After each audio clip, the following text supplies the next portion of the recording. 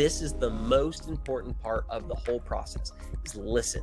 What's up, everyone? Taylor here, and today we're talking about listening to God and beginning to understand His voice. Because if you can do that, it will absolutely change your life. And hey, if you want more Christian content on how to grow your faith, hit subscribe and go ahead and hit that like button. It really helps get the video out. And if you subscribe during this video, comment and let me know I subscribe. Put that in there, and I'll be sure to write back to you. That's enough. Let's jump right on in. 1 Samuel 3:10. If you, the story of Samuel, he was hearing God. He kept hearing his name, but he didn't believe or know or was taught how God speaks. So he kept running to Eli, saying, "Eli, what is it?" And Eli said, "I think God's trying to talk to you. So say, here I am, your servant is listening." And then Samuel stopped and he listened, and when God spoke again, then the understanding came, right? So like Samuel, we have to learn the how and how to say, "Here I am, I'm listening, God." And know how to listen. So that word listen, this is this is the important part. If you could get one thing today, this is the breakdown. This is what happens. This is the most important part of all of it. Remember that verse in Job. It says Job 33, 14. It says, For God speaks in one way and in two, though man does not perceive it. Remember, I showed you 12 different ways. So he's saying, I even speak in two different ways, right? More.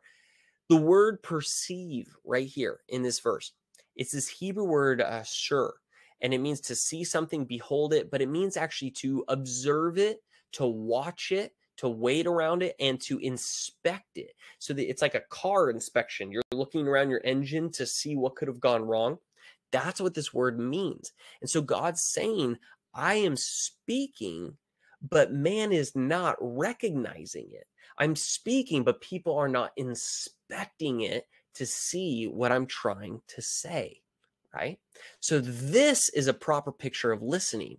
It, listening is not waiting and saying, well, if God wants to speak, he knows where I am. Listening is getting out that telescope to look and say, where is he speaking? I know he is speaking. I'm assuming he's talking because the Bible says he is. Let me find it. Are you looking for his voice and are you inspecting all the little ways he could be talking to you? If not, you're not going to understand. But if you are, that's the bridge into beginning to understand. So God is speaking in multiple ways, but no one's traveling around it, inspecting it, watching for it. And that's what Samuel did to start to hear God's voice. And if you notice, Samuel, Moses, David, Gideon, all these people in the Bible, God speaks, but he waits to see for them to turn and listen before he reveals the rest. So often, he might be putting burning bushes in your life, but he's waiting to see for you to turn and look at him. And in the inspection of him, he begins to talk. So that's the key. So you see, there's this huge gap between hearing and understanding. And we we're like, well, I can't hear and I can't understand. But the truth is, like Daniel said, he said, I heard, but I did not understand. That's the truth. There's this gap here. And the the part of the gap is listening. That's how you clear the gap.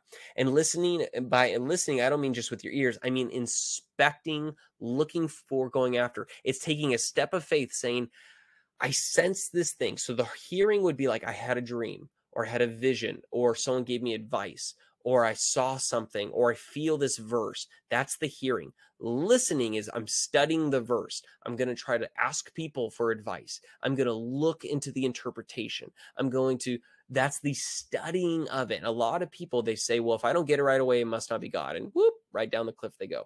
But as you are studying it, that's when the understanding comes and you say, oh, that was just me.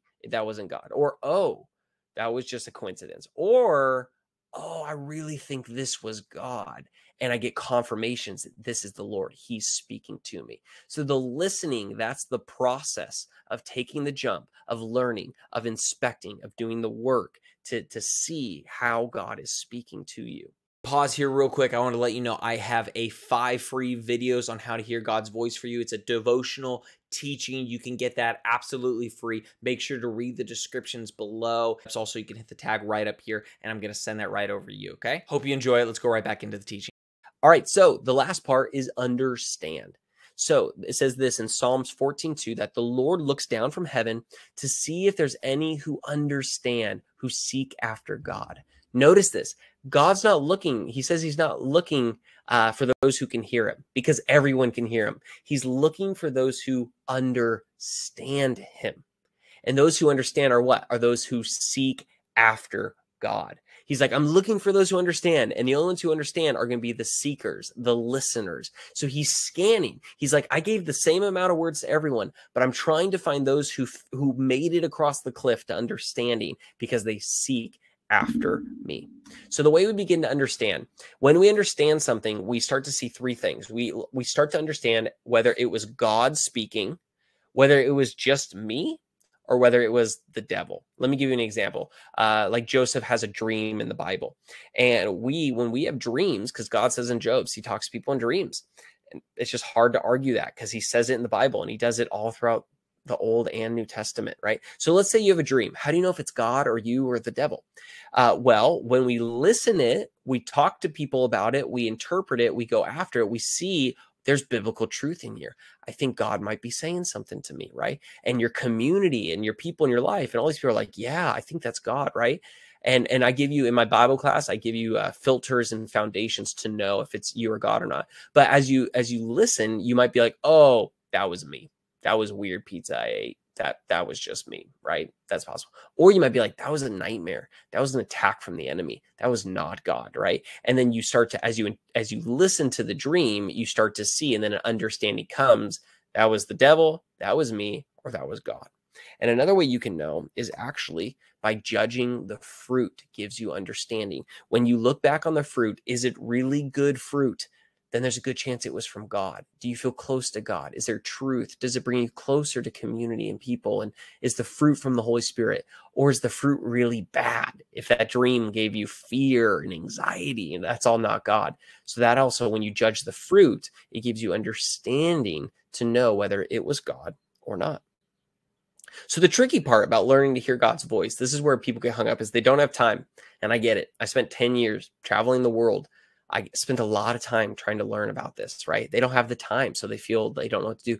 And the other thing is Bible searching because yeah, they people don't know the Greek and the Hebrew and and studying all that. And I, I was blessed that I I got a lot of teachings in this area from all over people around the world. And the next thing is they don't have a teacher. So maybe they do find it. Maybe they have the time. They're seeking the Bible, but they have questions and they're just like, I don't know what to do about that. Like, I don't know what that means. I don't know how to practically apply that. And usually, a breakdown in one or two of these keeps people from hearing God's voice. So that's the part where I hope you got a lot from those those three principles. Bring them up, and you can get a lot from those right away. So, what would your life look like if you knew finally how God speaks back to you? You know that that's the big question. Hey, hope that teaching from my webinar was helpful for you. If you want to watch the first half of the video, click this one over here. And if you want to watch the full thing, click this one right over here.